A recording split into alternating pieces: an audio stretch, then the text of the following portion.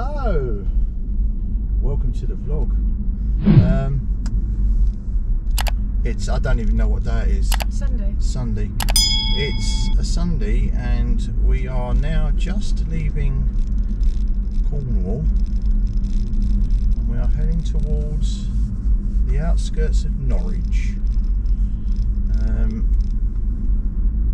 I'm hoping this is going to be a two-charge Journey. journey. Uh, It's, sorry. it's been working nights. I've been working nights. I'm shattered. Yeah, so I'm hoping it's going to be a two-charge journey. Uh, one at Amesbury and the other one at Baldock. So a BP Pulse and then an Ionity charger. Um, the overall distance is 368 miles. The first leg is 145.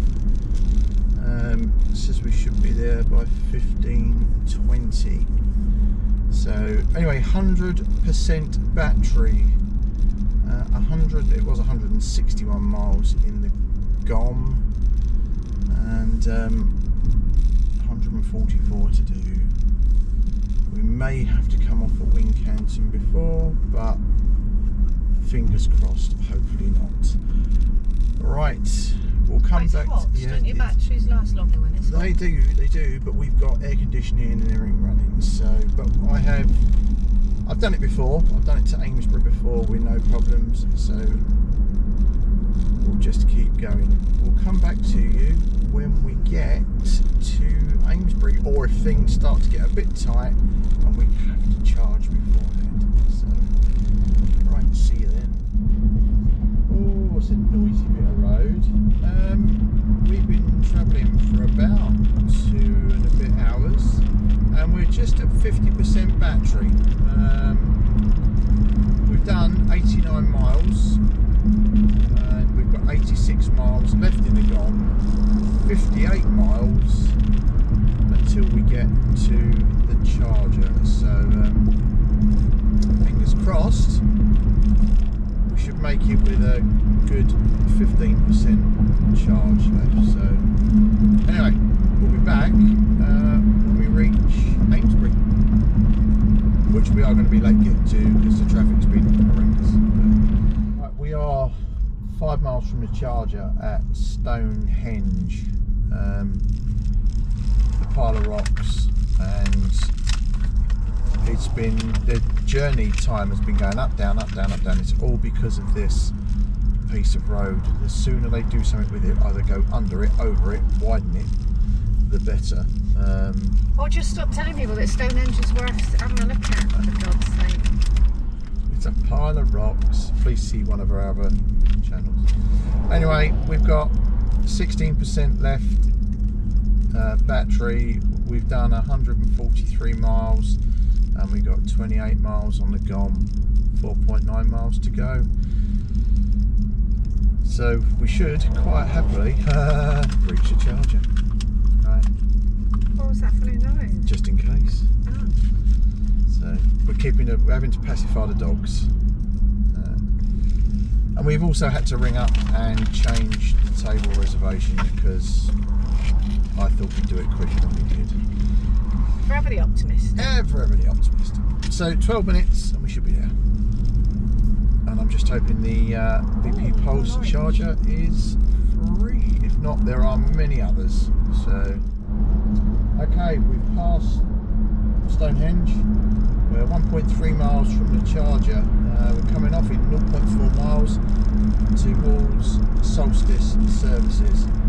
Uh, and as I mentioned, there is Grid Serve, Instavolt, and BP Pulse here, uh, and a huge Tesla um, charging station. So, if you've got a Tesla, you're laughing. I think there's something like 18 stalls here. Tesla, which at the moment haven't been opened up to us menials who don't own anyway, so off the A303, um, you're going back round towards Salisbury itself. Going back towards Exeter. Yeah, Exeter.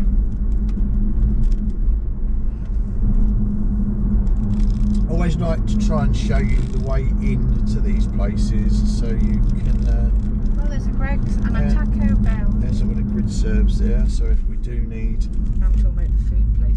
Excellent. You're talking about food. I'm talking about here. Well, I'm assuming that the other people in the uh, vehicle Yeah. might want. Yeah, Toby Carvery, we don't want that. We want the harvester. So, There's a sign for the harvester. there. sign for the harvester.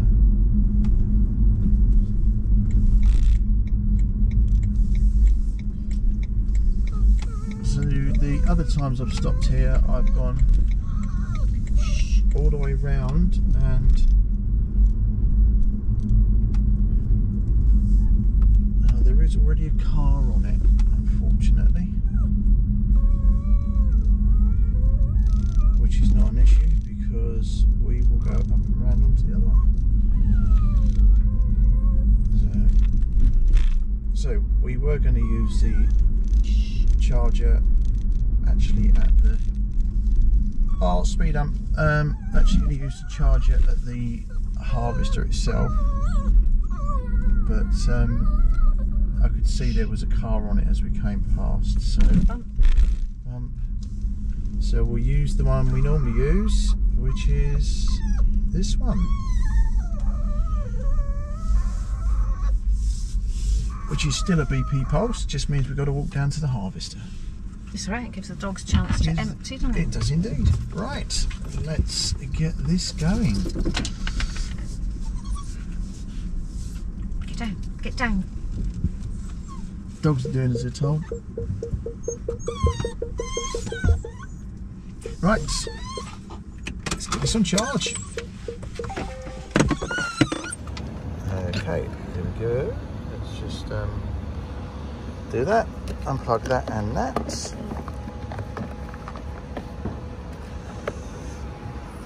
Uh, we are a member. Show your card. I'm doing it. We're waiting to get verified. Welcome. Card has been accepted. Let's plug the car in. Select the one we want, which is that one. Is it gonna do it? Is it gonna do it?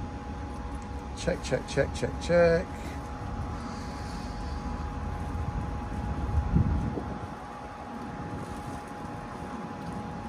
safety check. This is the one that always gets me. It takes forever. Well, it normally comes up a charge with 57 kilowatt in minuscule. There we go. So 13% and we're off.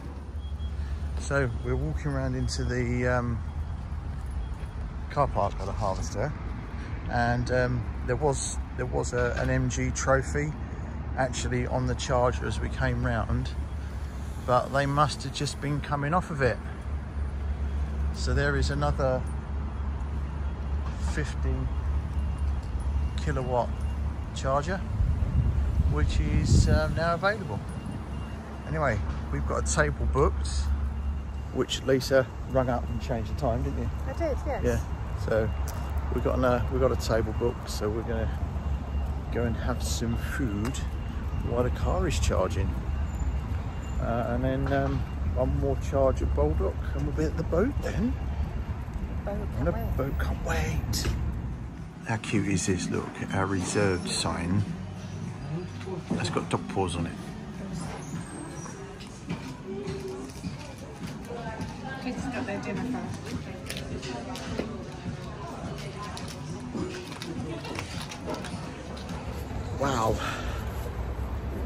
Nice, wasn't it? Oh, yeah. That was really nice. So, you had a flatbready thing and I had And a halloumi flatbread. halloumi flatbread and I had um, salad. salad. No, and um, chili non carne. So, anyway, we're heading back to the car. It's about an hour and the car is fully charged. I know, don't charge it to 100%. Uh, there you go. It was. Right. So we're actually at 98%, not 100. Oh, that's probably because I've got the aircon going.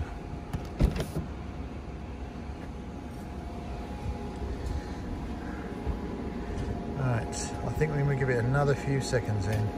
Right, here we go, 98%, 34.10 kilowatts in one hour and 11 minutes. It's stopped the charge. Excellent. Welcome back. And it's stopped. Flashy flash flash. Go white, that's it, we're on done. Put that back in now. Let's get going, he says. Uh, oh dear, trying to do this one-handed. One, two. Good, let's go. Right, that was a, took us back up to 98%. Uh, we won't go in there, that's a Tesla charger. Uh, oh, I am seriously, what about you? I am seriously fat and full. Well, you didn't eat anything, so I can't Right. say that happened. So-. We've done 147.1 miles, 98% in a GOM, 178 miles, no, 178 miles in a GOM, 98%, and 113 miles to the next charger. So, there is chargers everywhere, which is really good. Um, it just seems that guaranteed the charger you want will always be taken. I prefer the BP Pulse chargers purely because I had this subscription. Um, now I can't find my credit card. I'll put it in my pocket. Um, yeah, purely because I have this subscription, just makes it easier um, and cheaper. And then we've got I've got the Ionity as well, which is why I will be going to the Ionity charger when we get to Baldock. I could probably stretch it a bit further than that. Good to see the grid serve chargers are up and running and they are all full. Right, we don't actually need another stop, but I'm in desperate need of a coffee. So we've come off at Fleet Services and what I'm going to do is I'm just going to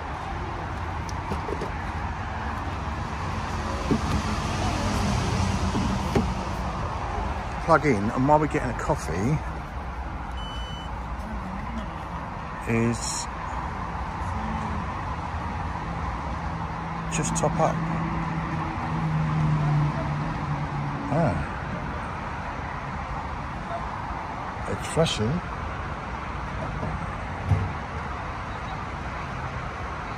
Uh, uh, uh. Sync card. Processing payment. Remove card. Card accepted. You're allowed to ch- start charging. There we go.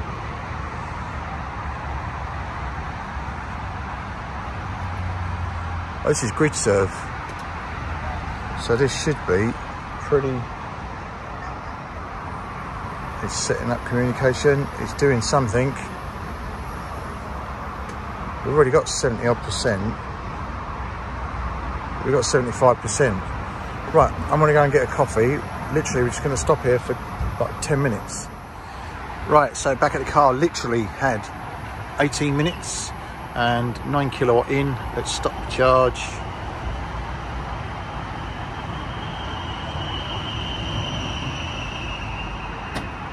Charge stopped. Let's unplug it. Excellent. That then means hopefully no more stops or one very quick minimal stop because this one wasn't meant to be. So let's get going. So we've got 157 miles to do and that's showing as a shell recharge. It should be an Ionity. Interesting.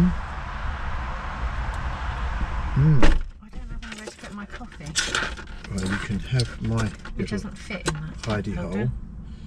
Right. We've done a charge that we didn't really need to do, but um, it should get us all the way to our destination, hopefully. Right, let's crack on. So our little coffee stop was much needed. Um, I say we didn't mean to charge, we didn't have to charge, but we decided we probably will do. So, uh, right, 178 miles on the gong, 94% charge, 195 miles done, and 152 miles to do.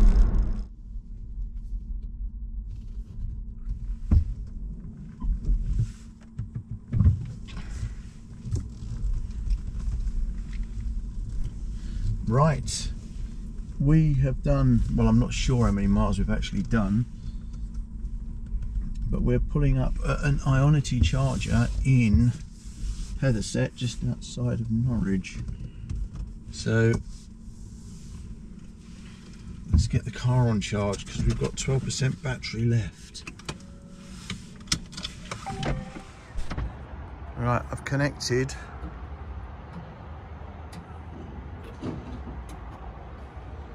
And we've changed colour and we're charging. That's cool, isn't it? It changes colour when it's charging. Look at that. So we've got 12% and we need to get a bit in just to get us to the boatyard, which is about 15 miles away. I think I probably could have done it. If I'd have pushed it and pushed it and pushed it, I'd have probably done it. But you know, it's banging 35 kilowatts. This only maxes at 50. So, right, let's get some charge in this. Oh, 44. Right, uh, what I've noticed, I was trying to work out why um, the there's two bays, but only one charger. As you can see, there's a plate there waiting for the charger. That one's already got two. And then if you look further down, there are plates there for another two chargers. So this will become um, this will become six bays eventually. Anyway, this is more than enough to get us to the boat, so we're going to stop and charge. Look at that. Marvellous. Unplug the car, walk this all the way around here, and put it away.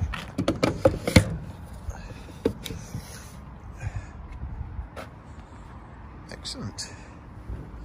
Right, back in there. It's about 20 minutes to the marina. And then we shall be on the boat. Let's go. See us. We are we are at 350 miles down. We've done it.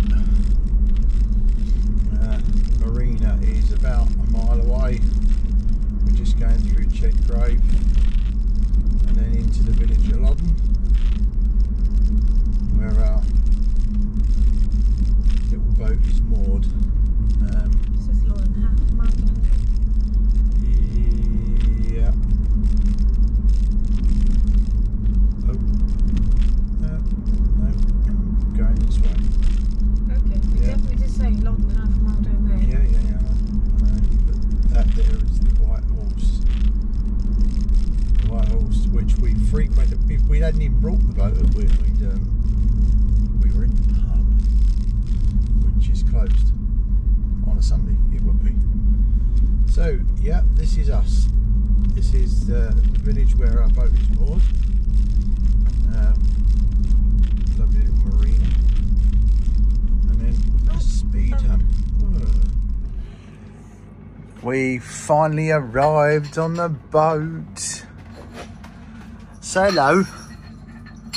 Say hello. hello. We've just arrived. We've had a bit of a journey, haven't we? Um, Lisa, Lisa finds my car uncomfortable, so we're gonna have to get some a seat pad because I've got sort of like racing seats, bucket seat things. So, but anyway, we've arrived on the boat and um, it's all good. We're going to try out our new cups. So this is Naughty Boy and Naughty Girl. Where did we get these from? Um, we got it from that place just along the way. Oh, um, the Edinburgh, Wilm, Ed, Edinburgh, No, Carno. Kernow Mill. Oh, we got them from Kernow Mill. So anyway, we've arrived. It's 10 o'clock-ish. Um, Yeah, it's hot now. Um, Lisa's been straight in, made the bed. Um, we've powered everything up on the boat. All looks really good. No smell of damp, which we're really pleased with. Yeah, yeah, excellent. I was, I was most. Um, so anyway, right, boat's looking good. we're gonna have a cup of tea. Dogs are eating. We're gonna have a cup of tea, and then we're gonna get some sleep. There's more beer into there. It's not near an eater, is it? No, so because uh, I did a night shift, I had two and a bit hours sleep, and then drove. So, right, we will be back in the morning. Well, we won't be back in the morning. Um, that's it. That's the end of. that's the end of this vlog for us coming here. Um, I might see how it is, and I probably might do one on the way back, see if we can find some different charges. But um, um, I should tell me because you can see a reflection, a reflection of me, of me, of me. So I hope you found it interesting. If you did, then give us a thumbs up. If you don't already, please subscribe. And right, you there. Mary, Mary, ring the bell for notifications. I live a long way away. You are a long way away. It's a very long boat. That's why you're a long way away. So anyway, thanks for watching. Bye for now. Bye.